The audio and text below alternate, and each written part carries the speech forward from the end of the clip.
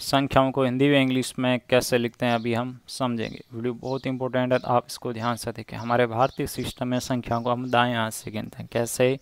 इकाई ढाई सैकड़ा। सैकड़ा यानी सौ। यहाँ कितना आ रहा है? पाँच। तो क्या बन गया? पाँच सौ। उसके बाद आता है हज़ार। यहाँ कितना है? दो। इसके आगे इसका स्थान लिख दिया। तो क्या बन गया? दो हज़ार पाँच सौ। दो यानी आपका टू। हज़ार यानि thousand T H O U S A N D आगे पाँच, यानी फाइव सो, यानी hundred S U N D R E D तो क्या बन गया? Two thousand five hundred okay इसको इस तरीके से आसानी से समझ सकते हैं।